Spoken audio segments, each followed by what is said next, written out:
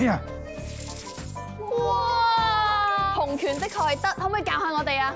真係好錯喎！仲有冇多啲動作啫？有有有，靚女要到乜都有。好，行開啲，行開啲，企埋一邊。整個洪拳虎背熊腰俾你睇睇。嘿，哇！咁第二招咧，做乜停咗嘅？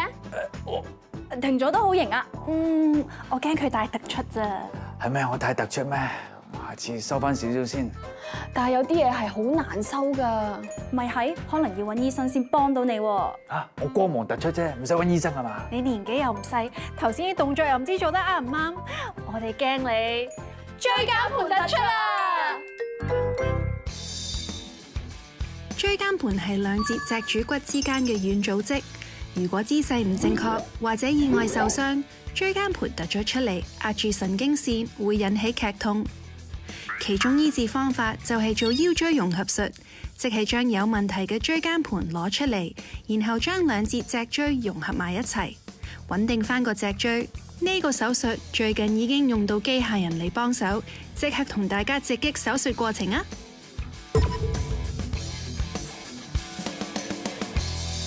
梁醫生，梁梁醫生，誒梁醫生你好啊，多謝你邀請或者你俾我哋入去直擊你今次嘅手術啊。冇咁講，冇咁講。榮幸榮幸，今次嘅手術係叫咩名咧？呢個手術咧，我哋叫做腰椎嘅融合術。咁今日個手術嘅特別之處咧，就係第一用微創造啦。咁我哋仲會加埋係用一個導航系統，就可以減少對病人啊、對醫生嗰個輻射嗰個 exposure。咁同埋最新嘅咧，就係我哋會用一個手術機械人去輔助我哋做呢個手術，令到個手術咧係誒更加精準啦。啊，對於周邊嘅肌肉創傷減到最低。咁希望個病人咧係復原快啲。咩嘅 patient 先至會需要呢個手術？所以呢啲手術嘅病人咧，都係個腰椎有呢個退化症啦。佢多數都係因為佢壓到啲神經線，或者嗰個腰椎係有不穩定咧，我哋先同佢做融合術嘅。呢個病人一個男士，四十六歲啦，咁佢就痛咗好耐㗎啦，已經隻腳。咁啊，試晒打針啊，誒，亦都試咗一啲物理治療啊、食藥啊，都唔得。咁啊，所以最後先至要需要做手術咯。誒咁呢個 robotic 嘅 navigation 咧，係咪比以前嘅手術咧精準好多咧？開始我哋會收集嗰個 X-ray 嘅數據或者 CT 嘅數據咧，咁就係好似一個地圖咁樣樣。而家我哋就畫個地圖，咁跟住咧將啲資料就會輸入去個電腦啦。咁有啲 AI 嘅程式咧，咁佢就會一陣間可以用導航嗰陣時咧，我哋可以知道我哋啲儀器啊同嗰個脊椎嗰個位置係好準確嘅位置喺邊一度咯。咁呢個 navigation 咧，比人手去做係咪好好多啊？如果有 navigation，你就可以喺個影像度你睇得好清晰，你嗰啲儀器喺咩位置啊咁樣樣。因為同埋我哋用微創做，微創咧主要同傳統開放式嘅手術唔同咧，就係我哋唔會打開晒睇住做啊嘛。咁呢個 robotic 嘅手術係咪都好少有咧？香港係啊，而家呢一部最新嘅手術機械人咧，咁呢個係喺香港第一個 case 啦，會係。哦，哇，係啊，哦，哇！部機都係上個月先至到香港嘅啫，都係。做嗰個 patient 好榮幸，做今日我哋觀眾都好榮幸，可以見證呢件事。有幸睇到。你肯定未睇過手術啊？從來未有啲緊張，你會唔會暈血㗎？梗係唔會啦。但係同埋使乜驚啫？聽講佢唔會好血淋淋㗎嘛，因為呢個又又微創啦，科技又先進咗好多啦，係咪？嗱，頭先咧我哋就用呢個機械臂咧，就係幫我哋喺個皮嘅上邊話俾我哋聽嗰個入去個位置喺邊度。咁變咗我哋一陣間開個傷口咧，就係根據佢嘅指示喺嗰度開。咁因為我喺個皮上邊皮層已經好精準知道個位置喺邊咧，咁我個傷口咧就可以減到最短咯，同埋最細啦嚇。而家醫生係準備將個粒螺絲鑲入去。咁你見到咧，而家呢個螺絲個頭啦，咁我哋可以一路扭落去咧，你嘅粒螺絲係走緊入去咯，已經可以。咁你聽到佢而家有啲嘟嘟聲，咁就係嗰個神經線監測系統話俾我哋聽咧，我哋擺粒螺絲嗰陣時有冇穿咗出去骨？腰椎融合術因為要喺病人體內放入螺絲等等嘅植入物，令到唔少病人擔心可能傷到神經線。新技術提高咗手術嘅精準度，仲縮短咗手術嘅時間。梁醫生話：呢種手術以前要做三四個鐘，依家兩個鐘就可以完成啦。咁脊椎融合手術咧，啱用喺邊一啲嘅病人身上？嗱，融合術咧通常都係想穩定翻個脊椎。咁唔穩定嘅情況，通常喐動嘅腰部坐啊、企啊、行嘅時候咧，就會非常之痛。但係攤喺度嗰陣時咧，或者瞓喺度咧，就會舒服好多。咁嗰啲多數有可能係嗰個腰椎不穩定。咁如果我哋確實咗佢係有呢個唔穩定嘅情況咧，咁就需要做呢啲融合嘅手術咯。腰椎本身有五節啦嚇，咁佢中間咧都有個椎間盤連係住。咁其實佢係一個組織喺正兩個骨嘅中間，係變成一個關節咁樣樣。成日聽到椎間盤突出啊，或者脱位啊嗰啲，就係當個椎間盤突咗出嚟啦。咁就可能壓到神經線咧，就會影響到有腳痛嘅情況。因為我之前都試過有椎間盤突出嘅問題啦，就係因為搬重嘢。其實呢啲情況常唔常見㗎？其實都多㗎，好多時見到嗰啲人喺機場攞行李啊，二三十公斤嘅行李，彎住條腰大力挫個篋出嚟啊！咁其實嗰啲情況對條腰嘅壓力咧係非常之大咧，所以變咗有機會引致到椎間盤係突出呢個問題。咁肥胖會唔會係其中一個原因啊？脊椎你本身係承托住人嘅重量㗎嘛，托住嘅重量越重咧，咁變咗退化機會就會越大咯。咁有冇啲早期嘅徵兆係大家可以去留意一下嘅咧？當神經線受壓嗰陣時咧，咁自然就會腳會痛啊。咁啲症狀通常會有麻痹啊、針吉啊，同埋誒痛啦。咁同埋最嚴重就可能會去到冇力嘅情況啊咁樣樣。咁如果發現自己有椎間盤突出嘅話，可以點樣醫治咧？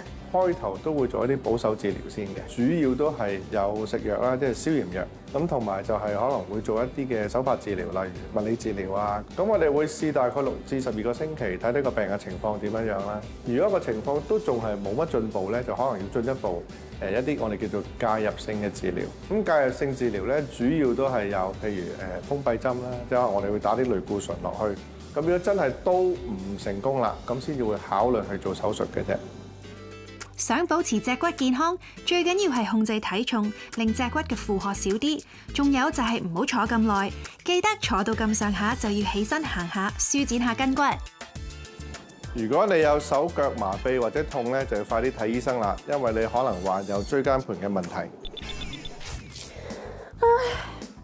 呢幾日瞓極都瞓唔到，明明買咗個新枕頭啊，點解都仲係覺得腰酸背痛咁噶？唉，唔瞓啦！咦？點解你喺度嘅？我作為一個醫學節目嘅主持，見到你身體有問題，喺度研究下都好合理啫。我仲揾埋佢嚟幫手，都係好合理。瞓到周身骨痛，可能同你個枕頭有關。枕頭過高或者過低，其實都有可能影響脊骨健康。朱脊醫，枕頭過高或者過低咧，會對身體有啲咩影響啊？長期保持住瞓一個好高嘅枕頭咧，有機會咧會令到骨同骨之間嘅椎間盤咧軟骨咧向後突出，壓到神經咧就容易手臂嘅。咁另外咧，我哋背脊嘅肌肉啦，譬如我哋嘅上斜方肌啊，因為長期處於呢個狀態咧，會成日掹緊拉長咗。咁佢咧，所以咪會有一啲人會有一個感覺就係誒你瞓完之後個膊頭仲係好攰啊、好緊啊咁嘅情況。成日瞓過低嘅枕頭咧，亦都有問題嘅喎。因為咧，如果過低咧，你個關節就會成日向後昂啦。咁所以最容易受壓就係我哋頸椎嘅第一二三節啦。如果呢啲關節容有一啲嘅功能性嘅錯位咧，好容易造成到一啲嘅頸椎性嘅頭痛啊，或者頭暈啊，甚至乎可能誒會影響到個呼吸咧，有啲鼻鼾或者係睡眠窒息嘅情況啦。咁我哋應該點樣揀一個適合自己高度嘅枕頭咧？咁啊，首先度咗你嘅誒膊頭嘅闊度啦，再揀翻你頸嘅闊度，再隨意，就係應該係枕頭嗰個嘅厚度啦。咁即係三十六減十六除二，即係大概係十咯。咁所以你要揀一個十厘米厚度嘅枕頭就啱你啦。嗱，我就側睡嘅，我咧就仰睡嘅。咁計法係咪一樣先？嗱，計法咧都大同小異，都係一樣嘅。不如你哋瞓翻低，再睇下你哋瞓得啱唔啱先啦，好冇？嗱，咁首先 Joyce，你瞓錯咗喎。邊度啊？邊 part 啊？嗱，好多 part 都係啊，因為咧，第一嗱，你瞓嘅時候咧，你隻手誒墊住嚟瞓啦，你個頭咧已經係側咗去誒你嘅左邊度瞓啦，因為如果唔係，你就好容易造成咗啲手部麻痹、腕管綜合症嗰啲情況噶啦。嗱，而家你個枕頭嘅高度咧都幾適合你嘅，因為側身瞓咧，佢嗰個原則都係你嘅鼻梁同你嘅頸椎要同一個水平線就得噶啦。即係要直嘅。冇錯啦，咁側身瞓嘅嚟講咧，其實你嘅頸咧最好就唔好成日耷低啦。嗱，個頸長期彎曲，個腰又長期縮咧，咁影響到嗰個本身嘅生理弧度啊，久而久之咧都會造成一啲軟骨突出啊、壓到神經嘅，都會造成一啲麻痹嘅情況。所以唔可以咧咁蝦米，係啦，直啲。要直啲，嗱唔止直啲添喎，你仲要咧係兩隻腳之間夾住個枕頭瞓咧，唔好俾條脊骨扭住喎，我平時都有夾住嘅。係咪啊？咁啊，呢個預防啲肌肉唔好拉傷喎。豬脊醫啊，咁我又瞓得啱唔啱咧？都有啲錯喎。嗱，首先咧，當你用呢啲波浪形嘅枕頭嘅時候咧，咁你應該咧係由低嗰邊瞓起嘅，哦，即係我要調翻轉個枕頭。同埋第二咧，你就個波浪形咧要承托到你嘅頸椎嗰個位置，咁你成晚瞓覺咧先至安枕無憂嘅。其實仰卧嘅時候咧，又亦都有一個原則，就係話咧，你瞓嘅時候個額頭咧要高過下巴咧大概五度到，即係簡單啲嚟講，誒有少少收下巴嘅感覺嘅。坊間有好多唔同質料做嘅枕頭，揀邊種原來都係由睡姿決定。豬脊醫啊，我平時咧就習慣仰睡嘅，應該揀乜嘢質料嘅枕頭咧？呢啲又得唔得咧？啊，你揀得好好啊！因為咧記憶棉嘅枕頭就啱你噶啦。因為仰睡嘅時候咧，記憶棉咧佢係有一個比較貼近你嘅頸啦，同埋個頭個線條啊，所以提供到一個比較全面性嘅承托力，咁啊減低到你背部受損嘅機會。